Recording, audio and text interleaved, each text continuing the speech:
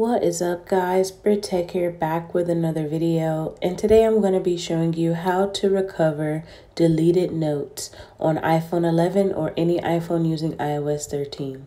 So let's get into it. Open up notes and let's go ahead and open up that test file that I created. And then after we do that, we're going to go to the bottom left and delete it. And as you can see, it's been deleted. So let's go back to notes and then let's go back one more time to folders. Let's go ahead and click on recently deleted. And there's that file right there, guys, that we deleted. So to restore it, you need to press and hold it and then select move. And then we're going to move it to the notes folder. So select notes. And as you can see here, it says notes are available here for 30 days.